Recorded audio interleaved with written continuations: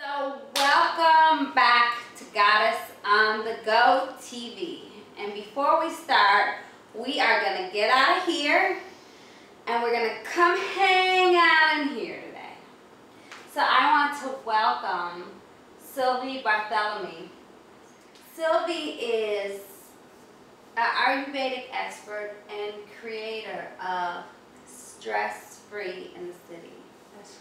She's also a good friend and um, someone who has helped me along my own health challenges when I was trying to figure out what my body was really needing. Mm. Thank you, Leora, for having me today. It's always a pleasure to hang with you anywhere. A lot of people are dealing with stress on a day-to-day basis.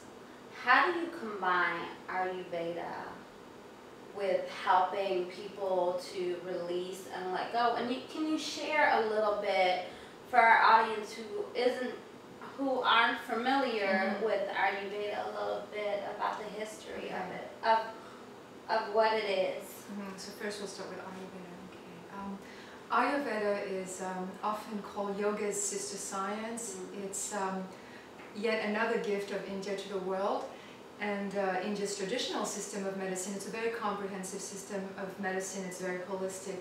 And um, it looks at the um, individual as a, a microcosmic expression of the universe and acknowledges that all of us are made of the five elements ether, air, fire, water, and earth in different proportions in um, unique ways.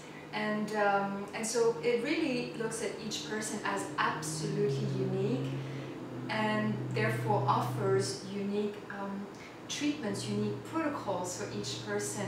So it's really the opposite of the one-size-fits-all approach to health and wellness. And that I definitely love about Ayurveda. Uh, and then, in regards to, to stress, um, my, it's definitely the focus of my practice to help women relax and feel good. Um, and um, my perspective on stress is that uh, it's not so much what happens to us, um, but it's really how we choose to handle what happens to us. You know, often people will say, well, my boss is stressing me out, and this is stressing me out, and this situation is really getting to me. Or is it more that I'm allowing the situation to get to me? And so what I'm helping women with using Ayurveda and yoga and meditation, all of which are very much intertwined, is to create a, an internal state of being that is resilient, to shift internally how they're feeling and from that place how they're perceiving what's happening in their life. Because it's all at how we look at it, right? Exactly, it's all about the lens through which you look at your world.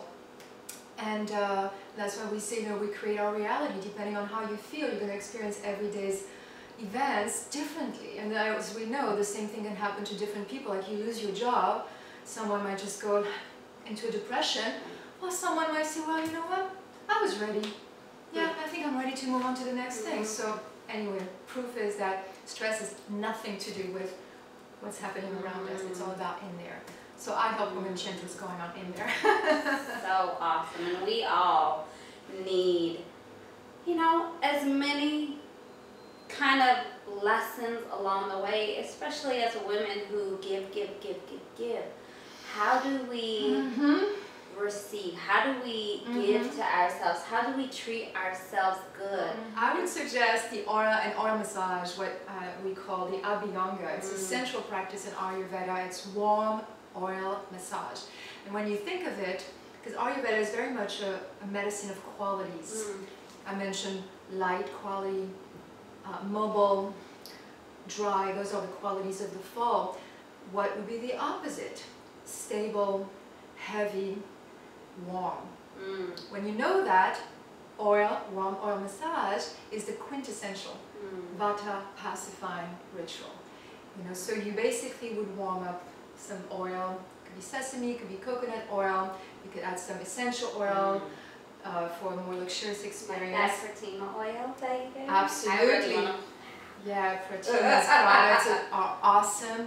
And uh, warm the oil, find a, a, warm spot in your in your place, get naked, and then just really lovingly apply the oil all over your body because it's not just about slathering yourself with oil, it's the time that you put aside for yourself in your day to do that, and either in the morning or in the evening. I like to do my abhyanga, my oil massage at the end of the day, mm. take a hot shower afterward, mm. or a bath, mm. or if you have access to a steam room, Oh, I for it. don't have it already.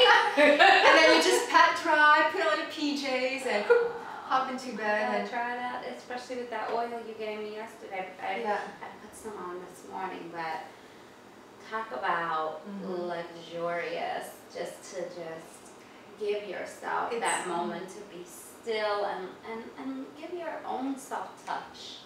I think is really yeah, important. Real, we um, forget to to explore ourselves, ourselves and yeah. know our own bodies is so important. Yes, you know when I massage my body like this, I really like to thank internally or sometimes aloud if there's nobody around. Mm. I thank each body part mm. for the awesome work they're doing. Yeah. 24 7 you know this awesome body in which we live i mean it never uh, never ceases to, to amaze me. Mm. And so, yes, it's definitely an expression of self-love to take time to apply some oil lovingly and mm. calmly. Mm. It's, uh, it's sensual and it's spiritual at the same time. So awesome. So, ladies and gentlemen, because men, it's important that you take care of your bodies as well. So, when you're feeling those kind of winter blues creeping all the way up through your body till you want to like pull your hair out before you get to that point try this massage with warm oil I mean mm -hmm. just talking about it kind of makes me a little like hmm yes please I want to get into my tub mm -hmm. right now mm -hmm. and then take a warm bath like do that for you yes, I want to say that it sounds simple, as so many other um, recommendations we give in Ayurveda sound very simple. You really have to do it. Like when I give myself an, an abhyanga, you feel so pampered afterward. You feel so soothed. You know, the nervous system is really pacified, and in that way, you feel ready mm. for whatever life brings your way, and that takes the stress that takes mm. the edge off uh, beautifully. So thank you again so much, Sylvie, for sharing that yummy tip. So treat yourself. Do not cheat yourself because you deserve that. And we will be seeing you soon. Again, follow us on Goddess on the Go TV on YouTube. And we love you. And until next time.